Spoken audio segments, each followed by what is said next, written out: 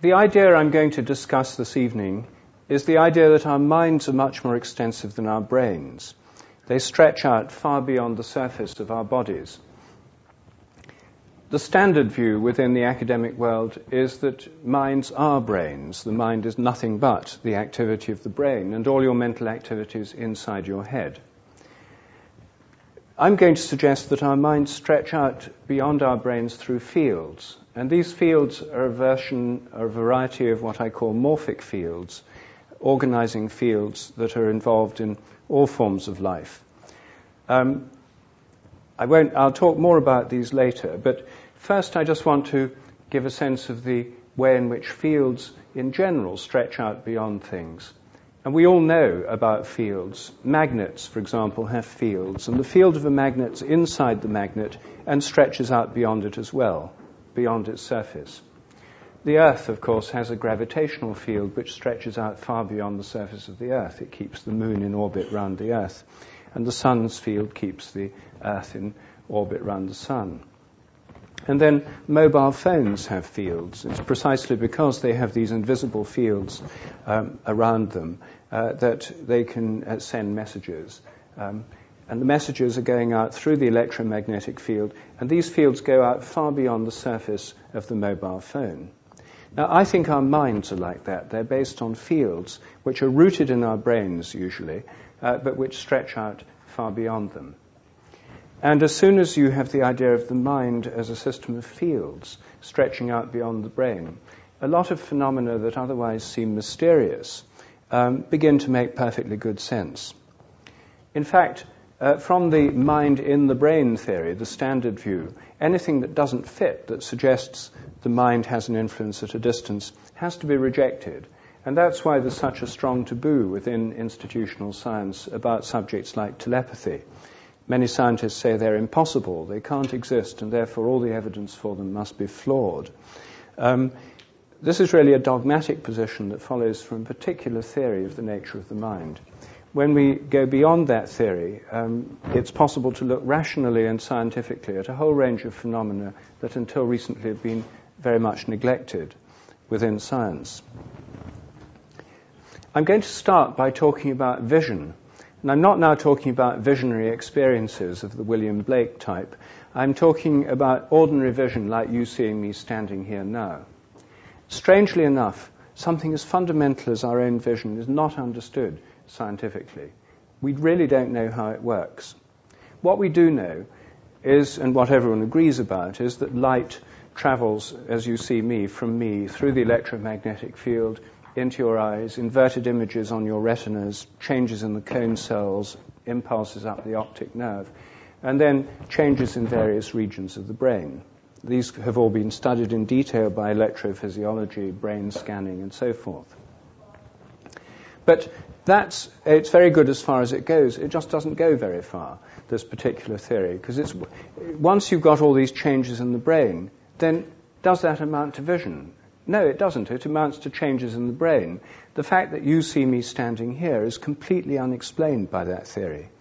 Um, first of all, consciousness itself is the deepest of all problems for science. Uh, some philosophers call it the hard problem, uh, because it's something that doesn't in any obvious way uh, flow from physics, chemistry, and biology as we know them.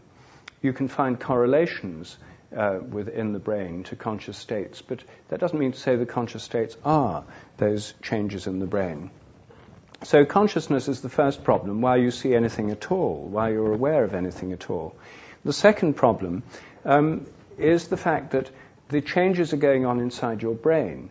The standard view would say all your vision occurs inside your head as a result of changes in the brain, and yet I imagine you're experiencing your image of me not inside your head, but located where I'm standing. The theory I'm putting forward is so simple that it's hard to understand. And that is that your image of me is located right here. It's an image in your mind, constructed and interpreted by your mind, but it's not inside your brain. It's outside your brain. It's where I'm standing. And your image of this room is where it seems to be. And if you look outside, you can't see the stars because it's raining. But if you could see the stars, then your image of the star would be where it seems to be. Um, what I'm suggesting is that vision's a two-way process. Light comes in, changes happen in the brain, and the images are projected out uh, to the place where the objects actually are. Of course, they can sometimes be projected to places where things are not, in which case you have an illusion or a hallucination. But luckily, most of the time that doesn't happen. If it did, most of us wouldn't have got here this evening, because if you, di- if you didn't see cars and people where they actually are, you'd be bumping into things all the time. You wouldn't survive for very long. So natural selection has ensured that this projection process is in fact normally extremely accurate and corresponds very closely to where things are located. Um, so, in a sense, what I'm saying is our minds reach out to touch what we're looking at. Um, the, the, the images are out there as they seem to be, not inside the head. The conventional position leads to very peculiar paradoxes, one of which has recently been pointed out by a philosopher, which is that it, when you look at the sky, the conventional view is that all your images are inside your brain, like a kind of virtual reality display.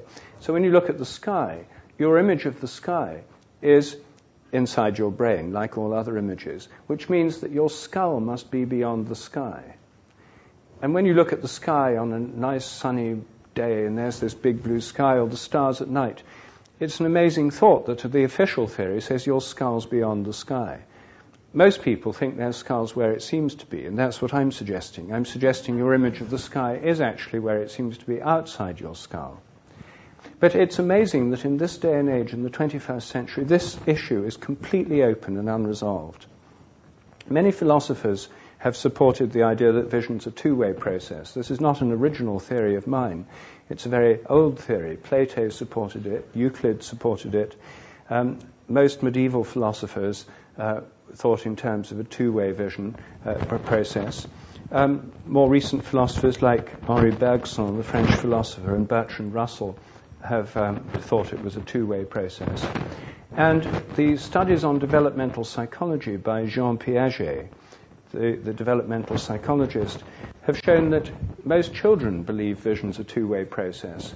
Uh, until the age of about 10, uh, as Piaget says, the average child believes vision involves this two-way process, an outward projection of images.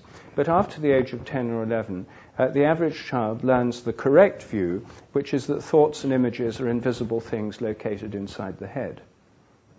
So probably all of us believed in this two-way theory when we were young, although we probably wouldn't have um, explicitly um, said it. It, it. We might have done if we'd been asked the right questions. So there's nothing very new about this theory. But um, the question is, is it true? How can we test it?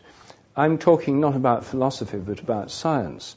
So if this is a scientific idea, then what can you actually do to test it?